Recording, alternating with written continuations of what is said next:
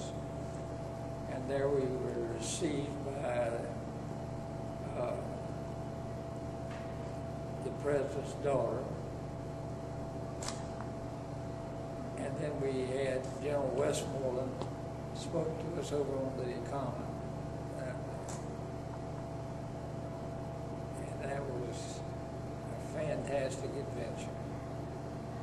One thing I can say for the boys, when we left there, the guards and everything said we were the best behaved and the cleanest people that had ever been into the White House. They said there wasn't even a scrap of a cigarette butt on the ground when they left.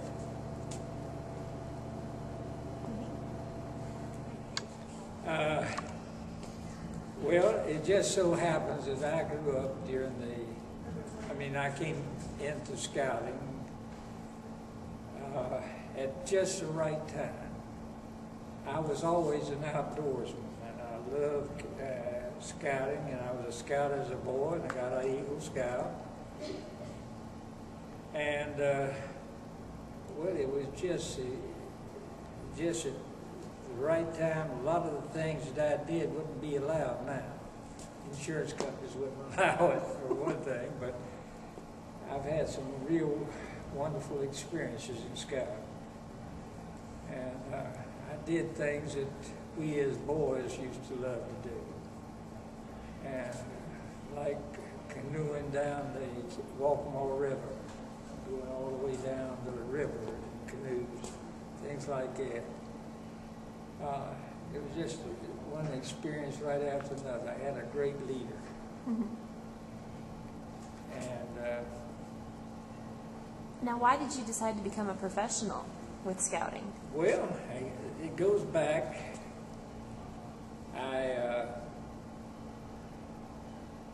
had a junior college education in Louisburg College, and then I knew I was going to be drafted. And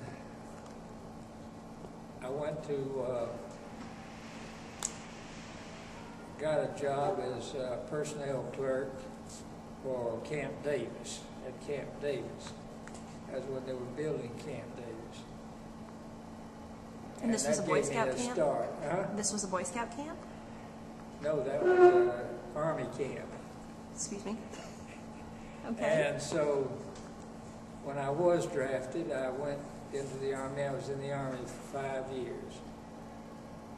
And went in as a private, came out as a captain. And, uh, and so when that was finished, I wanted, I've always wanted to go west.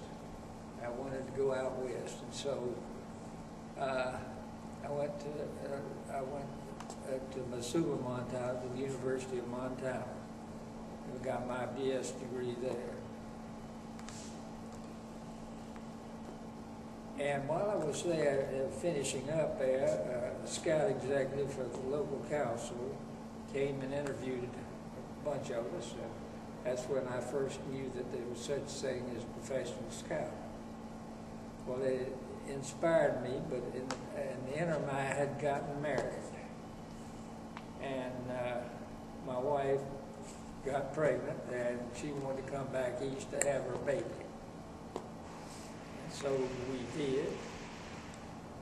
And I got immediately got a job as uh, as a scoutmaster for a nearby community, uh, and uh, had a great great experience there. And then all of a sudden, a bunch of people came to my house one night from the uh, Cape Fear Council and offered me that I had, I had gotten a job as county auditor for Columbus County, but uh, I uh, decided that with my wife's consent that I would go into professional scouting. I lost some money by doing it, but uh, that didn't matter. I was doing the thing that I wanted to do. I had been offered a job in Oregon to go out there, but I wanted to stay in East Carolina. And so oh, I, I became district executive for the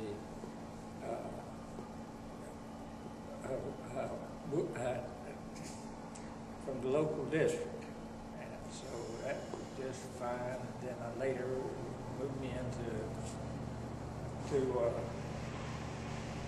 Wilmington as the assistant to the scout executive uh, and for that two counties up there to work on. And at the end of three years, I was transferred, got an opportunity to go to, to uh, County uh, with the Central North Carolina Council. I Stayed there for four years. I went to, then to the East Carolina Council and stayed for six years. I mean, ten years. Ten years. Then I came uh, over here. And I really enjoyed uh, coming to this county. It's been a wonderful home. I'd rather live in Goldsboro than any other place in the world. Been, been very good to me. So this was my first uh, job as scouting. Enjoyed it. Wonderful. Well, thank you, Mr. Auger. I appreciate that.